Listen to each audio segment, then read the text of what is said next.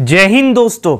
महाराष्ट्र के मुख्यमंत्री हैं उद्धव ठाकरे और उनके बारे में देश और महाराष्ट्र के लोग ये सोचते हैं कि जो उद्धव ठाकरे जी जो हैं, वो हिंदूवादी नेता हैं और वो हिंदुओं के लिए ही राजनीति में आए हैं और राजनीति जो करते हैं, वो हिंदुओं के लिए ही करते हैं, हिंदू वाली राजनीति करते हैं। और जो भी वो करते हैं, वो हिंदू लोगों के लिए करते हैं। पर दोस्तों, ऐसा कुछ नहीं है। जब से उन्होंने शिवसेना एनसीपी और कांग्रेस पार्टी के साथ उन्होंने सरकार बनाई और खुद महाराष्ट्र के जो मुख्यमंत्री बने, जबकि ऐसा सामने नहीं निकल कर आया कि वो हिंदुओं के लिए ही काम कर रहे हैं। वो एक सेकुलर मुख्यमंत्री बनकर काम कर रहे हैं महाराष्ट्र के अंदर, दोस्तों। दोस्तों, उद्धव ठाकरे जी का एक बहुत ही ज़्यादा बड़ा बयान वायरल हो रहा है। वो बयान कब का है वो तो मैं आपको आगे बताऊँगा, पर उनका बयान क्या वायरल हो रहा है मैं आपको बताता हूँ। दोस्तों, उनका एक बयान बहुत ज़्यादा वायरल हो रहा है। वो बयान आप स्क्रीन पर देखिए।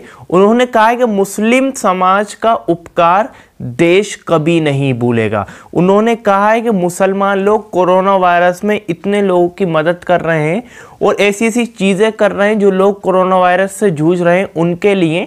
तो देश जो है मुस्लिम समाज का उपकार कभी नहीं भूलेगा। दोस्तों, ये बयान सोशल मीडिया पर बहुत ज़्यादा तेज़ी से वायरल हो रहा है। और दोस्तों, उन्होंने और आगे क्या बोला है, वो आप स्क्रीन पर देखिए। मुस्लिम समुदाय का आशीर्वाद देश कभी नहीं भूलेगा, मुख्यमंत्री मुंबई। कोरोना संकट में हर साल मुस्लिम समुदाय ने रमज़ान को सही ठहराते हुए अलगाव केंद्र के लिए पैसे जुटाने के लिए देश के कई हिस्सों में मस्जिद और मदरसे खोले हैं। कमज़ोरों पर खर्च कर रहा है।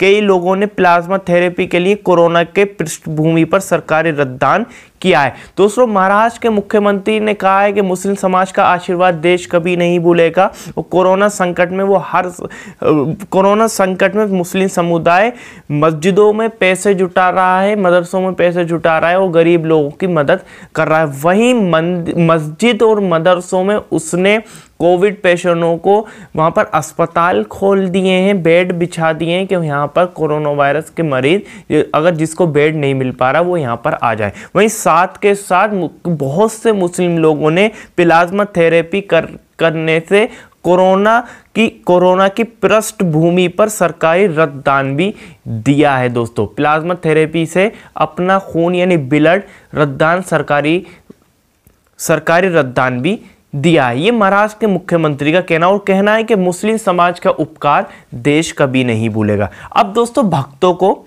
मिर्चें लग गई। भक्तों ने ये बयान वायरल शुरू कर दिया कि ये तो सिर्फ़ मुसलमानों के मुख्यमंत्री हैं और ये सब चीज़ें उन्होंने करने लगे यानी इस बयान को अगर मुस्लिम समाज की मुख्यमंत्री तारीफ़ कर रहा है तो उसमें भी हिंदू मुसलमान ढूंढ रहे हैं भक्त दोस्तों। वही दोस्तों, फिर ये मैंने ये सोचा कि बयान क्या अभी का है या लेटेस्ट बयान है? मुख्यमंत्री उद्धव ठाकरे का ये पहले का बयान है। तो दोस्तों, ये जो बयान है, ये 2020 का बयान है, जब महाराष्ट्र के अंदर और देश भर के अंदर जब लॉकडाउन लगा था, जब देश के के मुस्लिम समाज के लोग महाराष्ट्र के अंदर बहुत ज़्यादा तेज़ी, बहुत ज़्यादा मदद कर रहे थे लोगों की, लोग, गरीब लोगों के लिए पैसे जुटा रहे थे, उनकी मदद कर रहे थे, मदरसे और मस्जिदों में बेड बिछा दिए थे, वहाँ पर लोगों की मदद कर रहे थे। तो उसको देखते हुए महाराष्ट्र के मुख्यमंत्री उद्धव ठाकरे ने कहा था कि मुसलमानों मुस्लिम समुदाय का उपकार देश कभी नहीं भूलेगा। अब उन बयानों को लेकर जो भक्त वो चला रहे हैं कि हिंद मुसलमानों की सिर्फ़ तारीफ़ कर रहे हैं क्या हिंदू लोग ऐसा नहीं कर रहे हैं? अरे उन्होंने सिर्फ़ और सिर्फ़ जो, जो मुस्लिम समुदाय के ऊपर तुम लोग उंगलियाँ उठाते उन्होंने कहा कि मुस्लिम समाज का मुस्लिम समुदाय का देश कभी उपकार नहीं भूलेगा। हमारे देश के अंदर दोस्तों, लगातार तीसरा दिन है तीन लाख से ज़्यादा केस निकले हैं और दो हज़ार से ज़्यादा लोगों की मौत हो रही है रोज़ाना। उस पर देश की सरकार चुप है।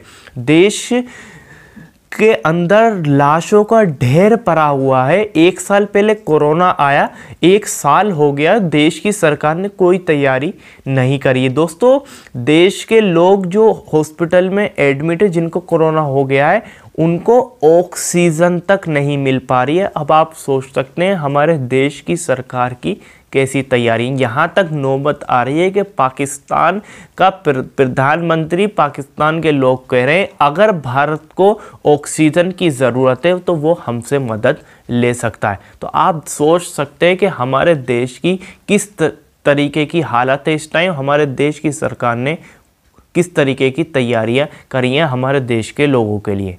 चलिए दोस्तों, आपकी क्या प्रतिक्रिया इसको लेकर आप नीचे कमेंट बॉक्स में प्रयास ज़रूर बताइएगा। इस वीडियो को ज़्यादा तो शेयर करिएगा लाइक ज़रूर करिएगा। चैनल पर नए चैनल को ज़रूर सब्सक्राइब और बेलाइकन ज़रूर दबा दे ताकि मैं जब भी नई वीडियो लेकर आऊँ तो आपको पता चल जाएगा। चलिए इस वीडियो में इतना ही।